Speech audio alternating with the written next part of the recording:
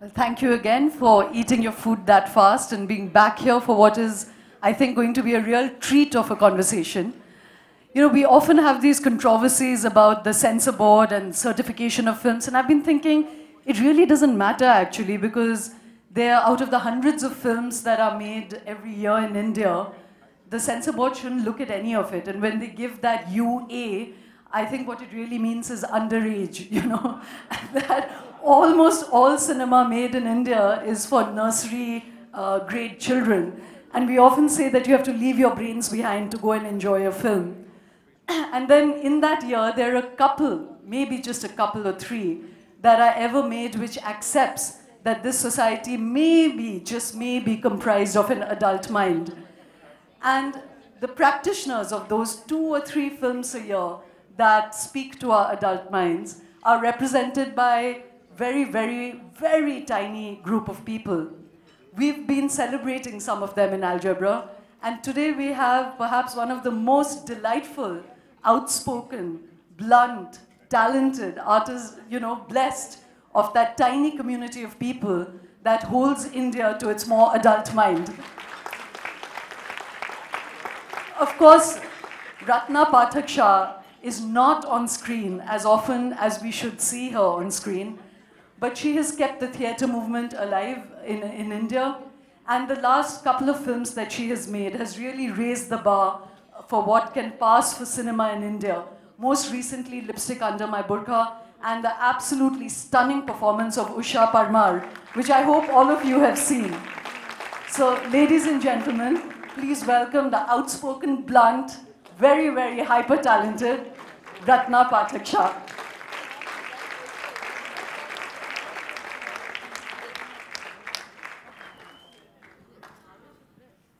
Thank you. Ratna, I hope you're going to treat us to your biting tongue. So- Outspoken, blunt. What else was it? I said hyper talented. Hyper talented. I was just putting all my caveats which in one? place. Which one should I start with? Outspoken or blunt? Which adjective do you want her to live out? Actually, I'm going to hold you to the hyper talent. Maybe you can do some cameos from uh, Usha Parmar before you get off the stage. No, no, I get paid big money for that. No freebies here. well, Ratna, let's start with the moot point. You know, as I was saying, this adult mind. In your opinion, I just shared mine. Is Bollywood an uh, uh, industry that serves an adult mind? No prizes for guessing the answer to this question. No, it isn't. It's an industry that is interested in making money. And that is its one point agenda making money. Everything boils down to that, unfortunately. We haven't yet got past that absolutely basic impulse. And therefore, I don't consider it an adult industry at all, in any form, either in terms of content or in terms of form. We are not yet done with pandering to the lowest possible common denominator. So I'm afraid we are still very, very um, kacha. Well, I'm going to uh, come back to what you, what you define as the absence of an adult mind, but I just want to call you out on one thing that isn't making money a, a legitimate enterprise. You just said you're not going to do any freebies for no money, you know? Isn't, isn't, She caught me out. Good one. Yeah, but today I'm not here in the business of making art. I'm not here in the business of um, communicating defined ideas. I'm here to have a conversation. This is not my uh, work profile. You've called me here because you think I have something to say that you want to hear. But this is not what I do for a living. I don't talk in public uh, arena for a living. So I don't expect money for this. I don't expect um, uh, to be uh, compensated in any way except to have a, an interesting evening out. Whereas when I'm in the business of making a movie, that's my work. And I expect to do something that is of use to the audience that is seeing me. I don't imagine that the audience wants to be instructed at all possible times about the grimness of life and the difficulties of taking decisions and the choices that we have to make every day, etc., etc. We are doing that in life in any case. But I do expect art to record the times as they are and to, in some way, make these times more accessible to us. I don't know, I don't know about you guys, but I just find everyday living so hard. You know, there are contests, there are conflicts, there's churning at every step of the way. Whether I'm dealing with my kids or I'm dealing with my work situation, I'm dealing with my maid, I'm dealing with the bhajiwala, whatever it is, conflict seems to be the key to more or less my entire life. I just desperately need to make some sense of it. I need to see the large picture. I need to push myself out of my immediate context and look at it from a point of view that helps me see the individual components in a way that I can make sense of. I, I think art is extraordinarily important to me. Beauty of any kind, the creation of beauty is to me the one singular, unusual aspect of the human species that truly defines us. We are able to imagine and therefore create beauty in the way we dress, in the way I cut my hair, in the way I speak, in the way I listen to music. I am able to be a recipient of and a creator of beauty. That sets me apart from, as a species, it sets me apart from almost everyone else. And I really feel that that's a very special position that I seem to occupy in the hierarchy of things. And I'd be a damn fool not to make the best of that. Well said, Ratna. Um, you know, I asked you about this, uh, and you said Bollywood is not an adult place. Two questions.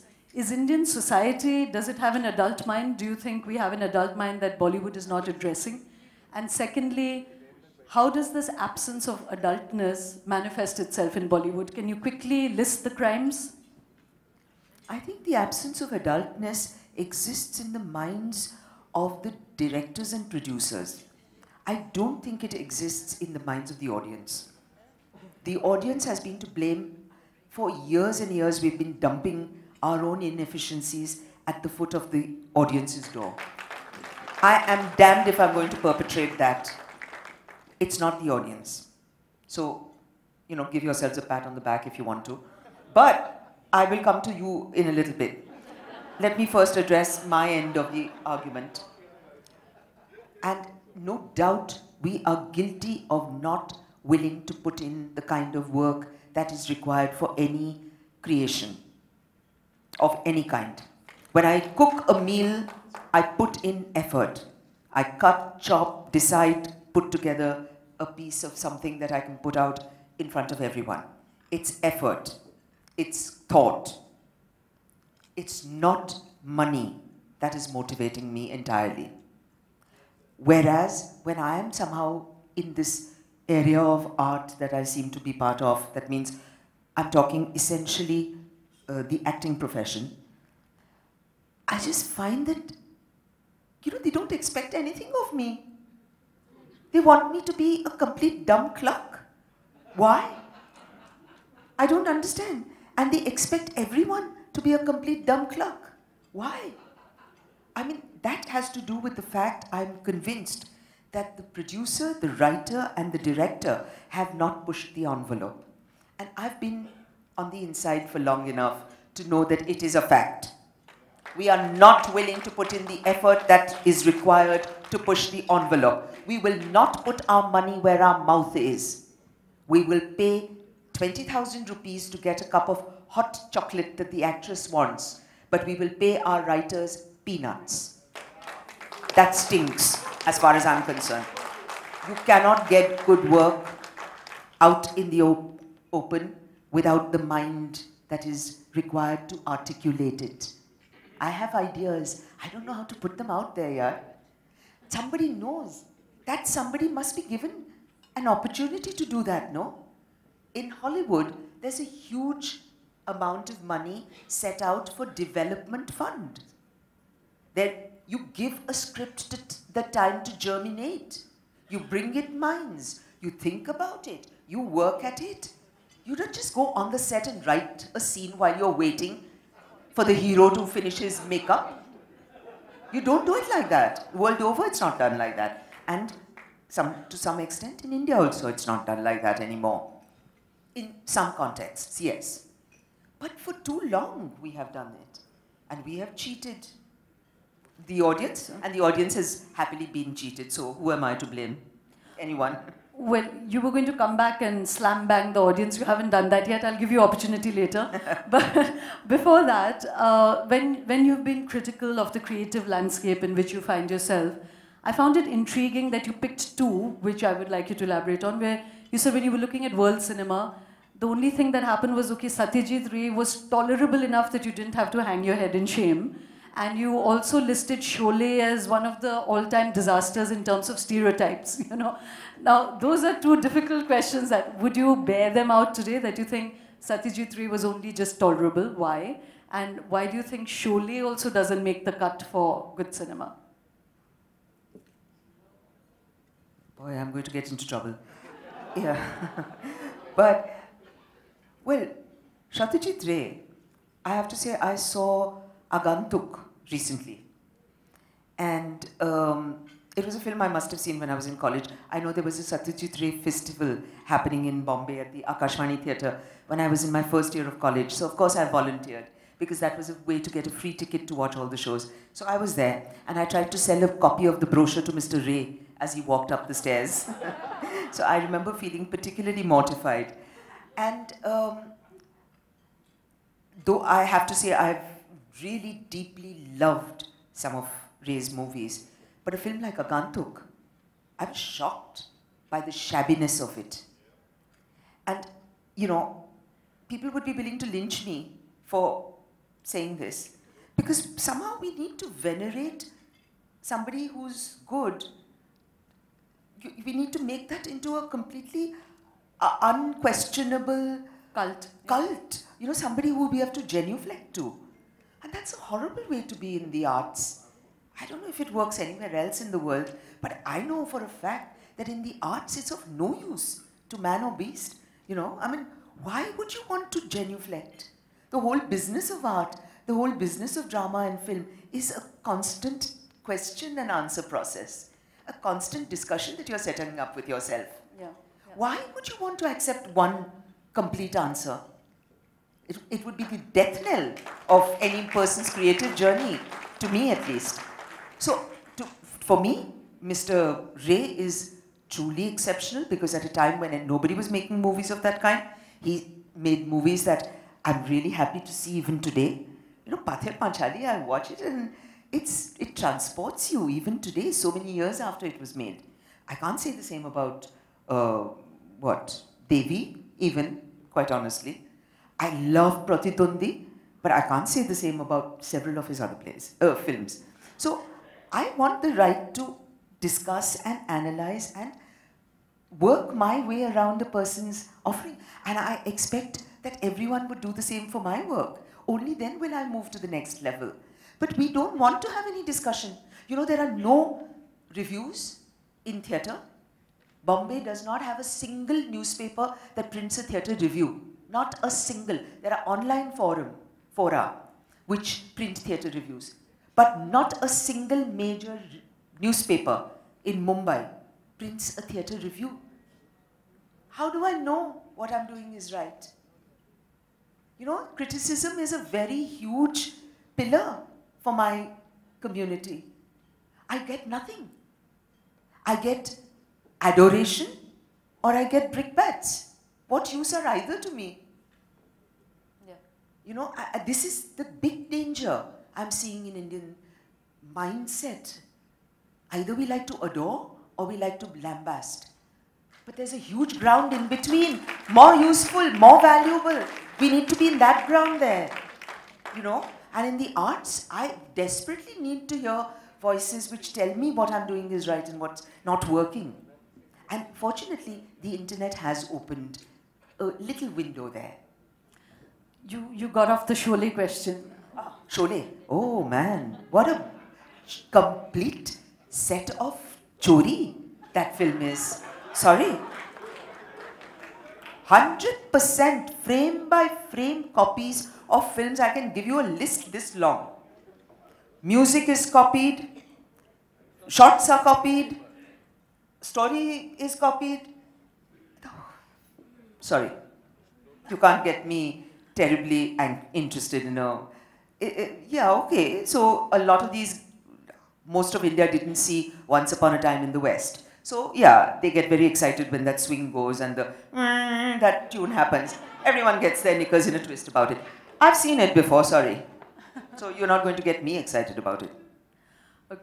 So now that we've got a dose of what you criticize, uh, Ratna, I'm going to come back to ask you for positive uh, examples of what you consider art or of thoughtful art or of really creative edge. But before that, I want to just come to this role you played in uh, Lipstick Under the Burqa uh, and the role of Usha Parmar. You know, did you enjoy it? Did you feel squeamish?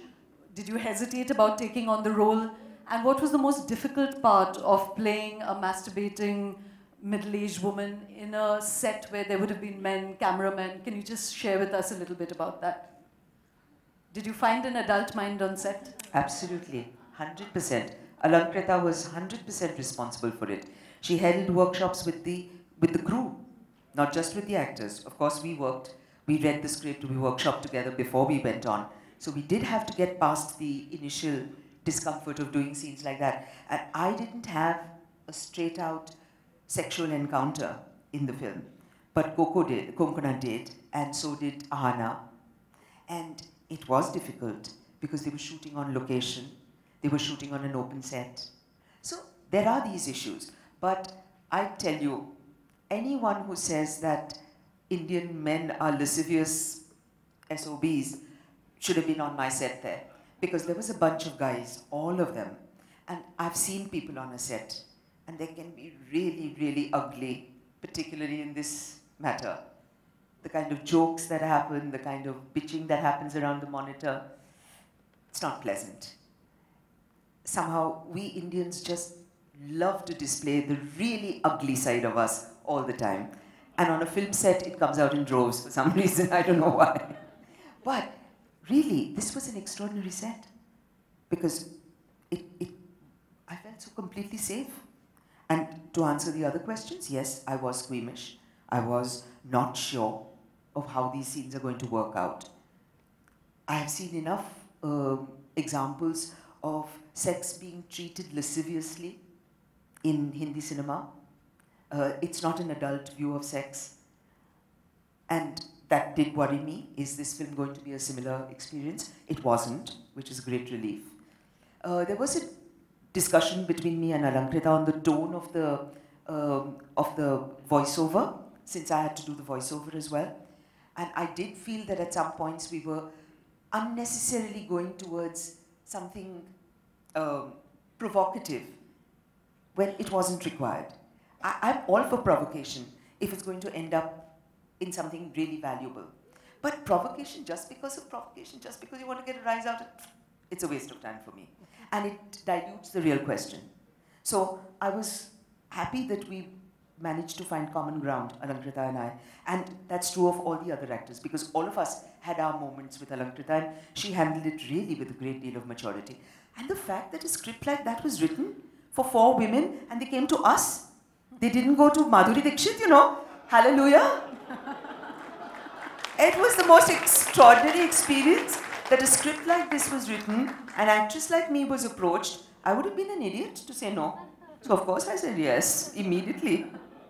And so, did finally enacting that, was it a liberating experience for you as well? You, you've done it with such a kind of naughty joyousness, you know. I was actually surprised by the humor of the whole film. You know, with, with a subject like marital rape, it's hard to find humor there. But somehow Alankrita walked that line quite beautifully, I thought. And there was, I, I am convinced that humor is, is what helps us to get to the next level. You know, to deal with the unpalatable, to deal with the really uncomfortable. So much of life is so uncomfortable and unpleasant. Humor can make the whole process easier. And Alankrita, I thought, used it extremely well in lipstick. So, uh, just to cycle back, Ratna, to my earlier question, that having critiqued uh, Bollywood and what it serves up, what is your landscape of, you know, art which you respect or which has moved you or transformed you? So, is there a list of maybe six or ten films that you would say are Ratna Pathak's list of movies to see before you die? oh yeah, lots, lots. And uh, what I find hopeful in a small way, I suppose, because one has been here, seen this before. The 70s was this lovely moment when everyone thought we were going to change the world. We were all out of college and you know, professional institutes, guys coming out of the Film Institute, guys coming out of the NSD. We thought we were going to really do something magnificent. Didn't happen. Um, I've always believed that a filmmaker is as good as his second film. The first film is a breeze to make. Anyone can make a good first film. Like, I guess anyone can write a good first novel. I don't know. I'm not a writer, so I wouldn't be able to say that for sure. But do you, do you think Nasir's first film was a good film? Uh, the one he made directorially? Well, I would say that it was an incomplete and uneven project. It certainly was not what he imagined. Since I was there uh, through the ideation also, I know that this is not what he had imagined. But the fact is he didn't get it right. Okay. Bottom line is that. So whatever the reasons for it may be, he didn't get it right. And he seems to have got scared off. He says he's never going to make another film. I hope he changes his mind. Because I think he needs to put that to rest. But so having first, said that... First films are not always... Uh, not always good. But, you know, it's easier to make one good film in a lifetime. But to make good films relentlessly, sustainably, that's where the problem comes. How do you keep doing it again and again? How do you want to uh, capture uh, the human experience over and over again so that you can talk to an audience? You don't have to talk to everyone.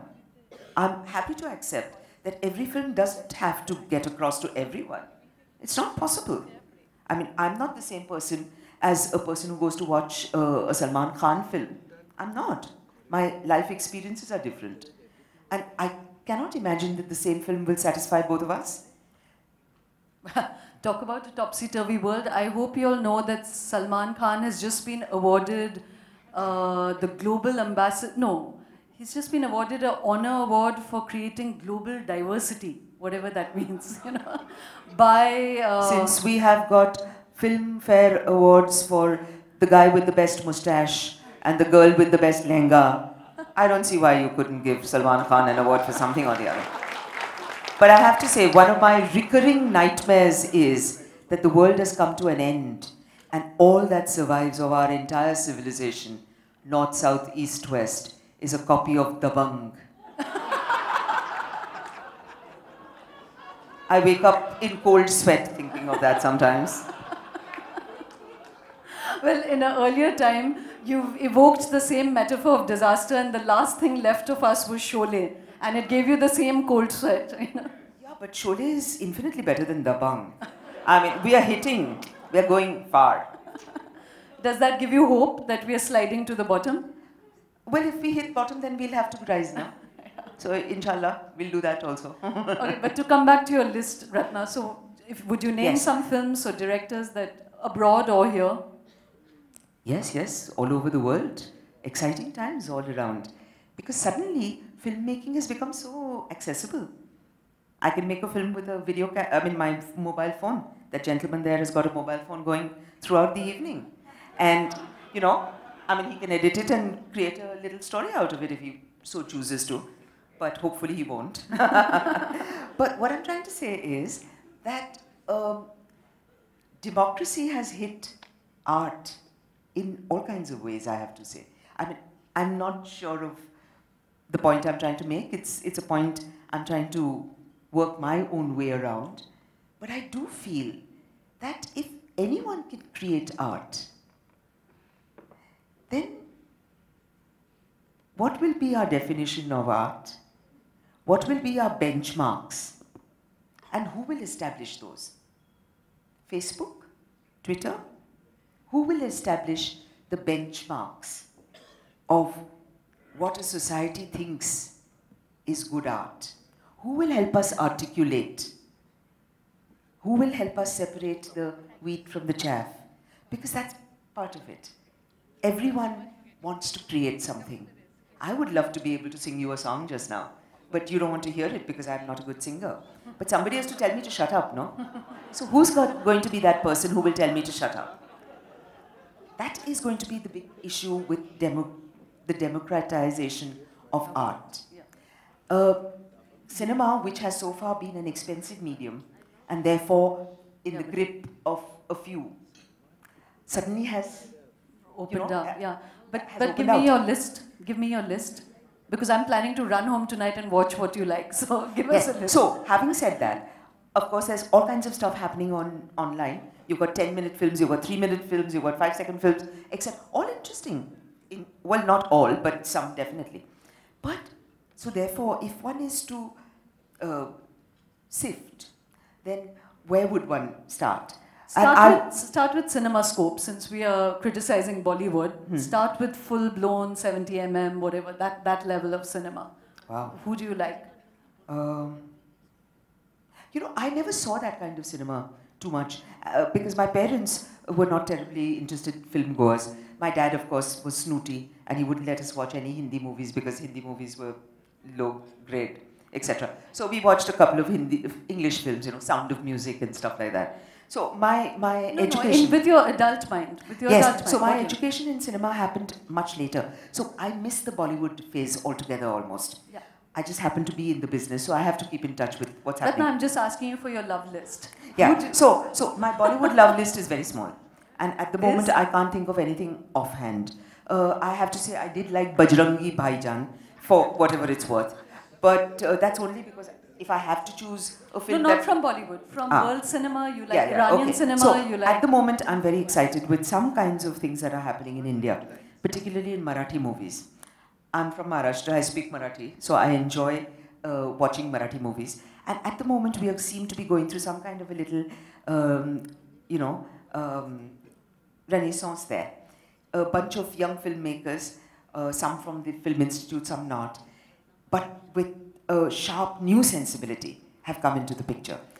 And it's really hard because Hindi cinema, Hindi and Marathi and Gujarati and everything that I've seen before is highly loaded towards the sentimental. We love sentimental. In India, we just adore it, you know. Uh, and, and therefore, films that don't push the sentimental envelope beyond a point are really hard to find. And suddenly, there's been a spate of films in Marathi which have done that. Uh, Umesh Kulkarni is a filmmaker. If you get to see his films, and most of them are available online and on uh, Amazon and stuff like that, subtitle versions, very exciting very different. I can tell you some names. They won't mean very much unless you would go back home and do a little Google search.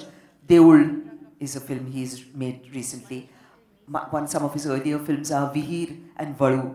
Very interesting. Nagaraj Manjule, who made uh, the super successful Sairat. Sairat. Yes. And before that, a film by the name of Fandri, which was an absolutely extraordinary film. Much better than Sairat, but did not get the kind of release that Sairat did. Sairat was a huge hit in Maharashtra. There were places where they had to run the film at 2 o'clock at night because after the 12 o'clock show got over, 9 to 12, 12 to 2, 2 to 3, I mean 2 to 5, there was a show held like that. They had to increase numbers of screens across Maharashtra. It was like a phenomenon, that film. And it is worth seeing. I'm not saying you may agree or dis. I mean, you'll make up your own mind about it, but definitely worth seeing. How to handle the issue of caste in, in this manner, which is accessible to many. You know, we are, we are very ashamed about certain things. We don't like to talk about communalism. The, you know, everyone pussyfoots around it. everyone pussy. Nobody even talks about caste. Communalism के बारे में बात तो करते हैं हम लोग कम से कम. Caste के बारे में कोई बात करने को तैयार नहीं हमारे देश में. And that is a big issue.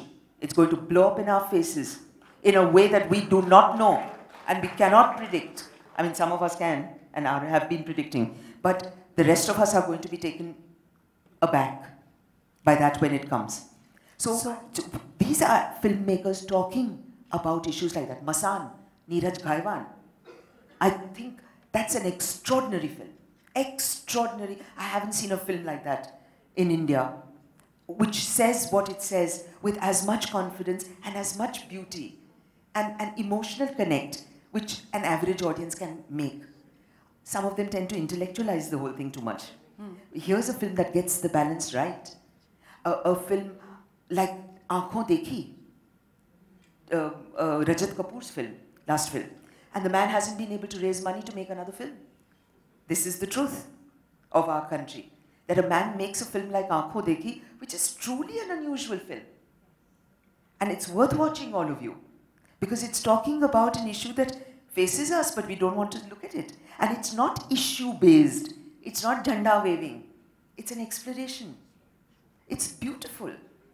And, you know, these films just don't have distribution um, ability, you know, uh, uh, chances.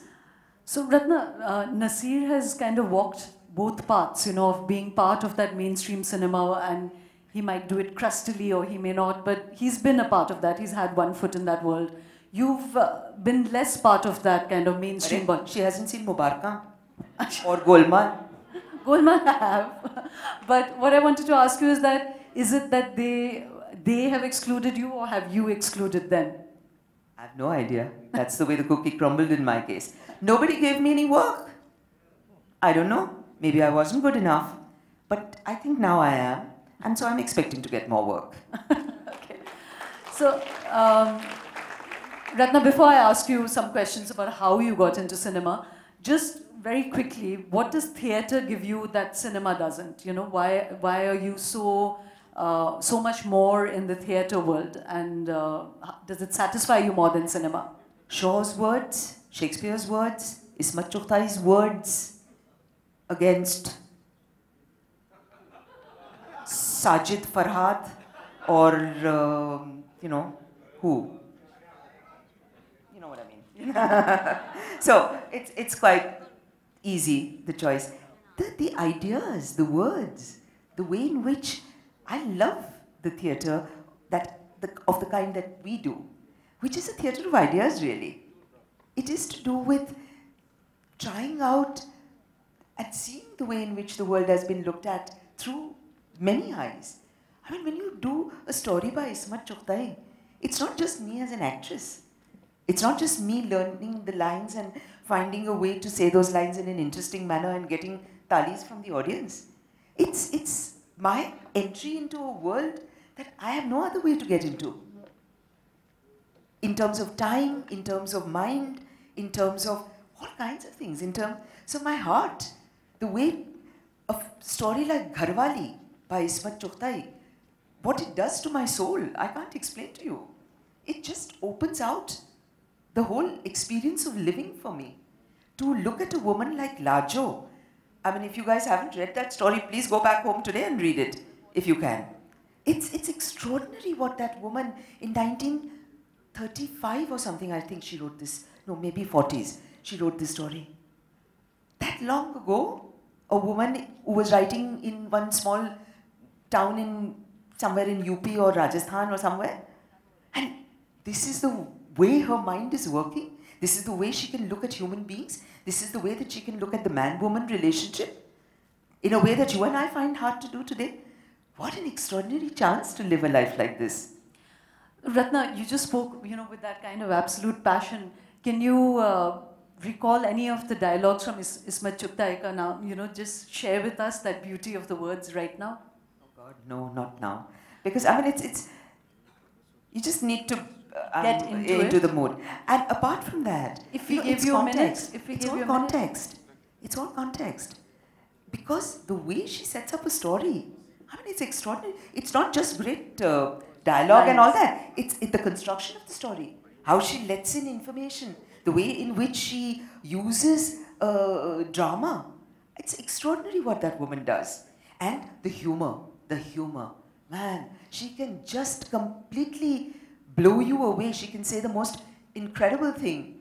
Uh, for example, in Gharwali, she is describing the marriage of uh, Mirza, this middle class uh, chap from some small town in UP, uh, मतलब छोटी सी बिसात खाने की दुकान थी उनकी कभी कभी धंधा इतना बुरा चलता था कि घर जा करके शादी कराने की नौबत नहीं और कभी कभी you know itni busy hoti thi, whatever, I've forgotten the words, there you go. You know, this is the trouble.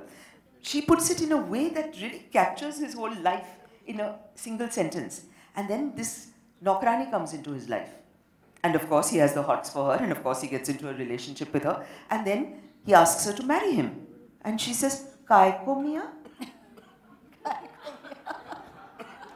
In 1942, Subversion. a woman who has lived on the streets all her life is offered job security, life security forever, respectability, and she says, Kai ko Mia? I mean, what kind of a woman is this one? Yeah, we're, running out of time. Um let me quickly see what time we're at. You know, just one question while I quickly look through the audience's questions that you had great uh, difficulty, Ratna, entering into cinema, you know, because your mother was an actress, your sister's been an actress. Can you explain that? Why, why did that have such a psychological impact on you, you know?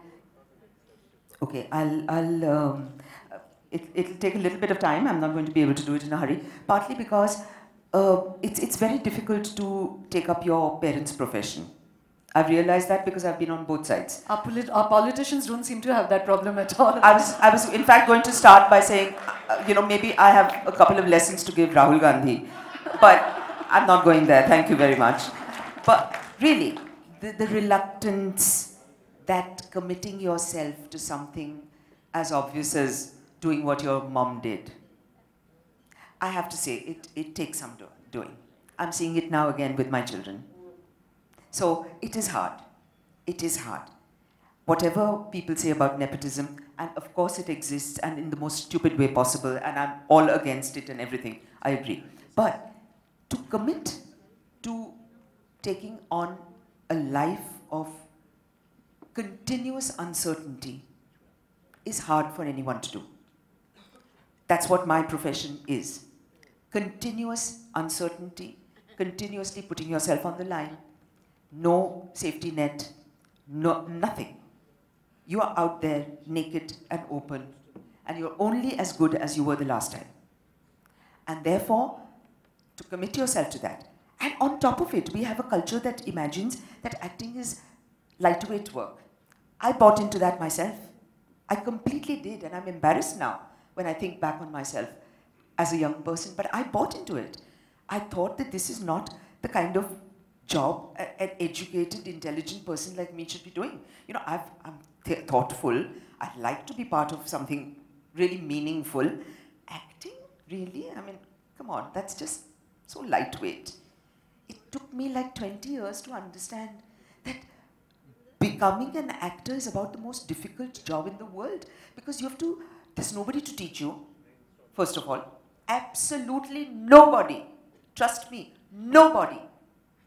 No institution. Nobody. You're doing it all on your own.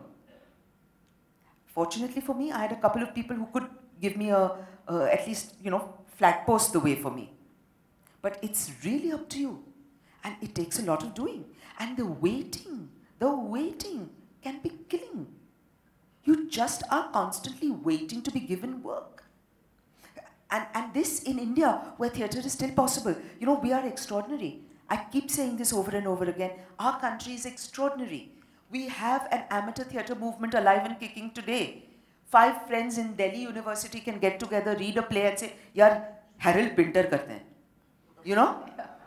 Nowhere else in the world will you be allowed to go anywhere near Harold Pinter or near a theatre.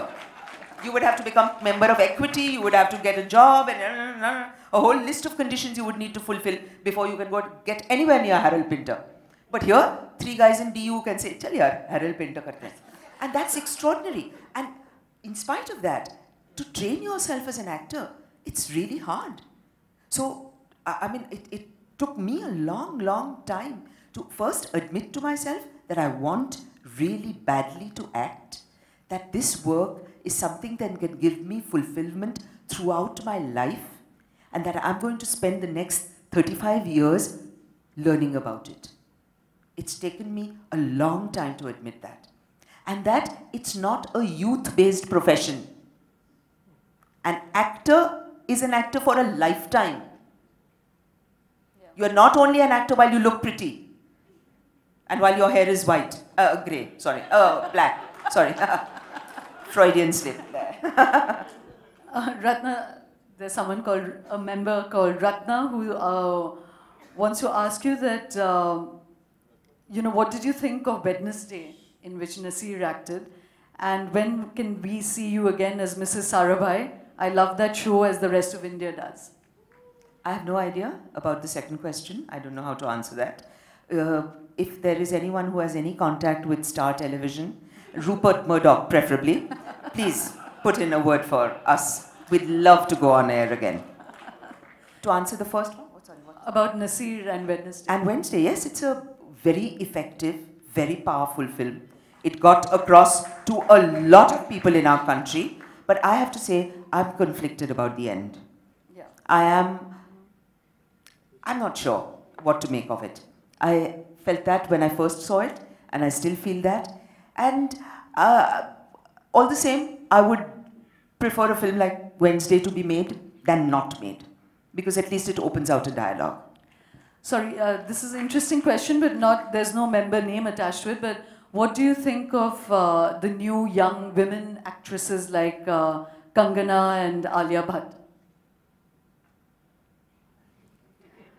Are you needing to gulp water before you answer that? and Sonakshi Sinha, and some and so and so and so and so and so. There's a whole bunch of them. Some of them will hopefully want to push themselves.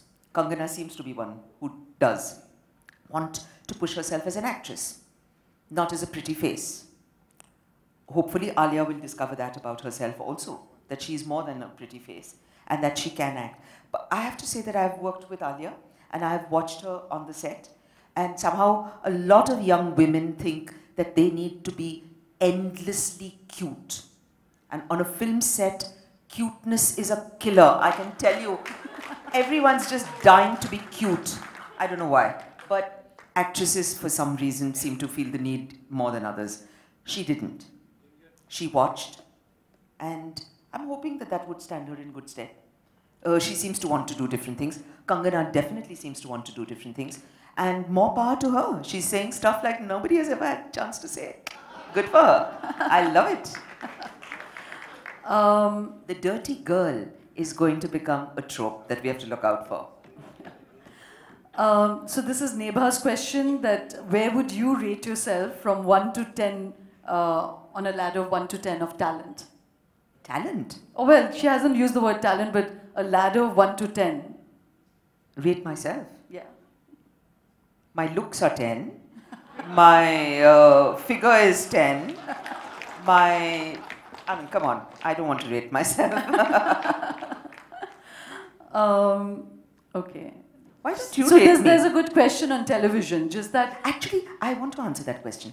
Why are we so interested in ratings? Why do I need to know if a film is worth three stars or four before I go to see it? No, why why on, this need for 50 things to do before I die? Why this need of 10 best films of the last 10 years or the last 10 seconds? You know, I mean, really, enough. Okay. So just one last question. We asked you nothing about the fact that you're entirely a film-based family.